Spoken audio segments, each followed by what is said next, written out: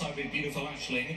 More down the centre, showing Plenty's beautiful eyes, who's racing together with Queen Ollie. And they're being tracked through by She's Hot. More towards the near side, then beautiful eyes, ladder some of the horse out in the centre. Right towards the sand side is Double O in black and white, fully wet now, making that run towards the middle of the track. They make their way through halfway. Meditate, Lady Bullet, Ibiza love the leading three. From beautiful Ashling, Red the longest Morge, Ladder some is still prominent. And then Queen Ollie, Kathy come home trying to get involved in the blue and white colours as they race now down towards the final quarter mile. It is Meditate who's come through to lead. Lady Bullet is battling away. Then Ibiza Love running on distant behind is Ivory Madonna. Then beautiful Ashling and Morge. More near side coming into it late on is Queen Ollie. But Meditate goes home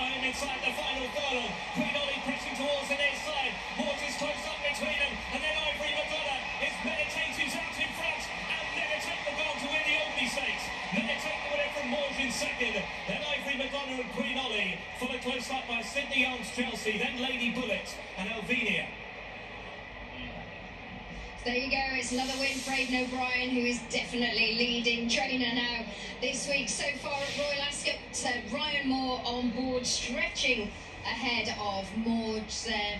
And it looked like Ivory Madonna, who's um, finished in third. But that was decisive, Kevin, and uh, you mentioned her very positively beforehand. Yeah, she was very strong late on, Alex, and that, that was a that was a feature of her first two runs. You know, she didn't necessarily go through the race terribly strongly, but in the final furlong was her best. And she was up in the box seat here the whole way. She was leading or disputing from the outset, and really it was inside the final furlong that she really began to pour it on. And look, Aidan O'Brien came into this week a little bit lighter than usual with his three-year-olds and his older horses, but had a fine team of two-year-olds, and now he's had a second one of the week, both by No Nay Never. Asire having a big, big year. This is his first crop of uh, expensively bred two-year-olds, we'll call them, and they're certainly stepping up to the mark as hoped. Sheen, have you been impressed with what you've seen here? Yeah, Kevin and I uh, were actually speaking about her around the paddock, how strong she is through her body. I thought Ryan gave her a fantastic ride.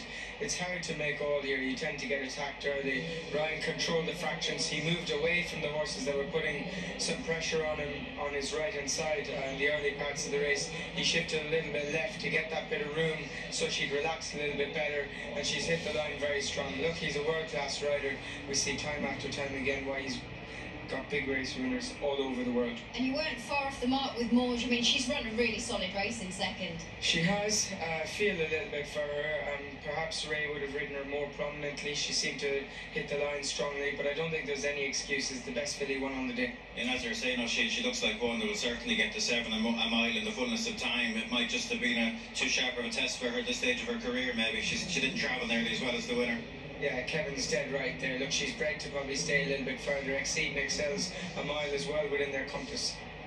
Freddie, it's uh, another winner for Aidan O'Brien. She remains unbeaten. This filly, she was an expensive yearling, yearling, and she looks like she's got a great attitude. Absolutely. She cost 360,000 euros. She was bought at the Arqana sale from Jamie McCalmont, who's one of the main buyers for the Coolmore team. And look, she's done everything nicely. She's already a Group 3 winner over at Naas. That was second time out. And obviously, this looks like a filly with a big, big future. Yeah, she's exciting. And Ryan, another winner. Let's have a look. Drawn over in four. And let's have a look when they, they break. She breaks pretty smartly there, Rasheen. And the lower draws do seem to have been dominating up this straight track. Yeah, I wouldn't look too much into it, uh, Alex. In reality, I don't think the ground's any faster on that side versus the middle, for example. Ryan was very clever. Uh, he, we just saw, if you're watching the screen, he had a look around over his left shoulder. He, um, by doing that, he's disencouraging the jockeys around him to come and take him on. He manages to set his own fractions. They're going very steady here. Everything's kind of travelling on the bridle. And look, it was just a very clever ride from Ryan. Yeah, he's uh, he's still one of the best in the world, isn't he? Yeah, he has big race experience. Riding in these races is no hassle to him. Uh, some ladies and, and gents don't get this opportunity all the time, but Ryan would have more rides than anyone at a meeting like this.